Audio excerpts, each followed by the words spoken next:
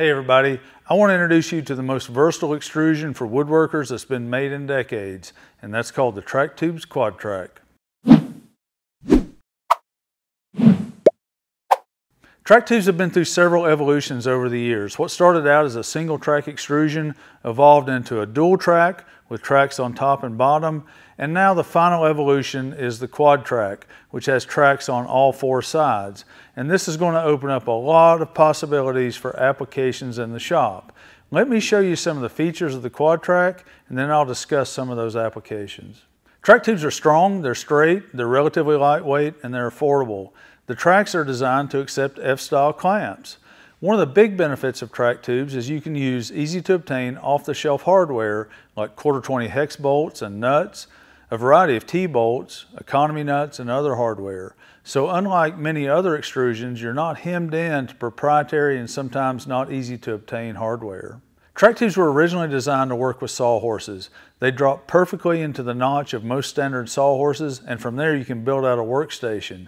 Now with the quad track, there's a lot more possibilities of how you can use track tubes in the shop. The quad track has tracks on all four sides. And you'll notice right here, there's something that's called a screw boss. And that's fancy extrusion industry terminology for a hole. What you can do with the screw boss is you can thread that to a quarter 20. So you can imagine how you could customize your applications and your workstation by threading this to a quarter 20 so you could attach things to the end of your workstation.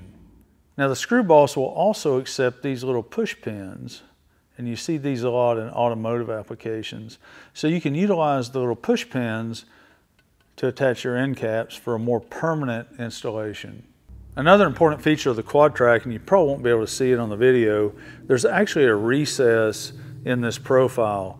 And that's so, as you can see, you can attach a self-adhesive ruler. So now imagine how you can use the quad track as a fence when you build out your miter saw station.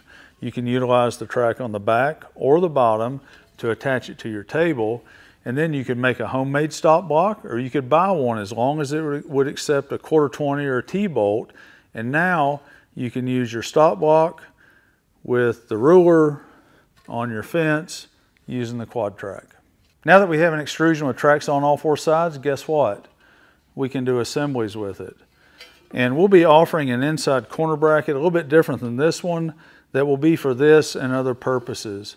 So imagine building out the frame of your workstation using quad tracks and you still have access to a track on the top, side, and bottom for clamps and fixtures and accessories.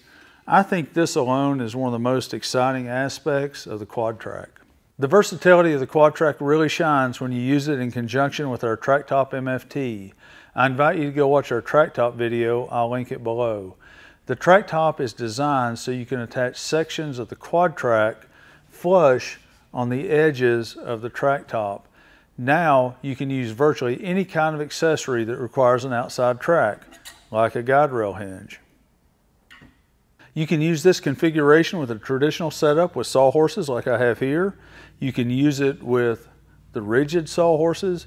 You can use it with any flat surface in your shop. I think that this solves a lot of problems for folks who are trying to find a more affordable solution for an MFT style workbench. The QuadTrack is sold in our traditional lengths of 72 and 90 inches. We also sell it in 45 inch lengths for setups with a track top.